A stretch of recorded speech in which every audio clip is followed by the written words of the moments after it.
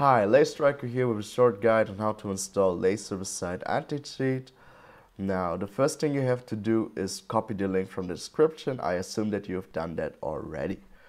Then secondly, you just enter the link and you click on it. Now you should be on the page for Leys server-side anti-cheat. What you have to do is look at the middle right. You'll see a downloads button. You click on the downloads button and then you click on Download Stable. This will download the latest stable version of the anti-cheat. Now next up you open the archive. In my case I do this by clicking on the bottom left. This might differ depending on which web browser you use. Now next up I go to my Garry's Mod server. In my case I already have my Garry's Mod server open.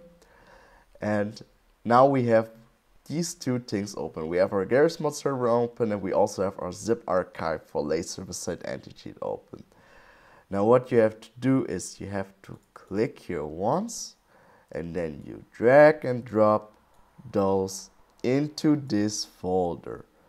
Make sure that if it is asking you to replace anything that you click yes.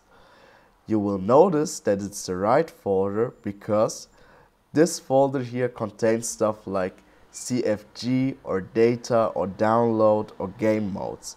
It is very very important that it's exactly this folder. Pick the wrong folder, it won't work. Now, it has been installed successfully. What you do next is you start your Garry's Mod server. How you start your server might differ depending on the server you use or the server host you have. As we can see in the console, Leys server-side anti-cheat has been loaded. Now next up, I'm going to connect to my server.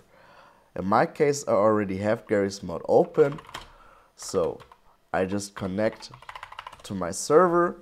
This will take a little while.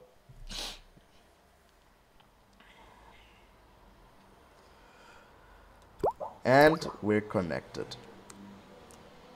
Now make sure you maybe try moving one step. This is important because the anti-cheat it'll take like maybe 4-5 seconds before the menu loads. And now we just type exclamation mark AC in the chat and the anti-cheat menu has been opened. And that's it, you're done. It's really that simple. It's just drag and drop, but yeah, in case the menu doesn't open, the chances are that you, for example, have an administration mod and you don't have the admin rights in your administration mod. It's very important that you do have the admin rights in your administration mod. So regardless whether it's ULX or SAM or Xeon admin or whatever it was called, just make sure that you have the rights in your admin mod.